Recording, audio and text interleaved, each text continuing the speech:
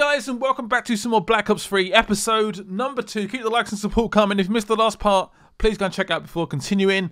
And let's let's do this. Let's go. Resume the game. Hello, Mrs. Hall. Sending his location to your HUD. Can sprint. I did not know that. Oh, nice. Come on now, pick up the trail.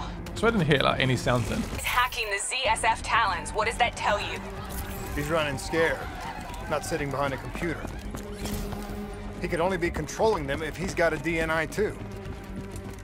You're a smart one, New Blood. I'll give you that. You're losing him. Where is he? Can't see where he is. I'm behind you. Oh, he's up there. Up there. Oh, there's some more robots. Wreck Nice the to see you ain't a quitter. Son of a bitch is still moving. Of course he is.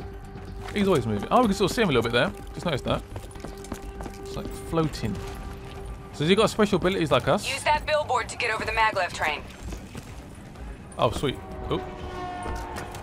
Yes. Oh, that is sweet. Oh, that is nice. I like it. Where are we going? I don't even know right now. He's heading into Old Oh, there he is, there he is, I can see him. All right, activating a new cyber ability. System paralysis. What to next? I can't even see any. Why is it telling me about the robots? I can't even see any robots. Bring it on! Nice going, New Blood. Nice going.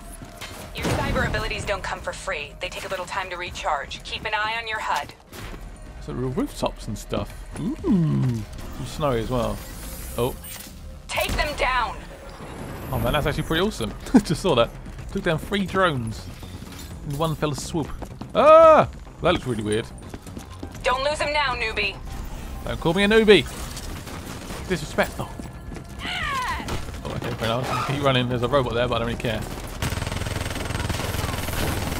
I'm starting to like you. Good. I like him, it. I like blood. you too, Mrs. Hall. like a teacher, doesn't it? Now's your chance. Take him down. There we go. Got him. Splat. Didn't work out so well, huh? I reckon our suspect has about 15 seconds left before he shakes hands with the Grim Reaper.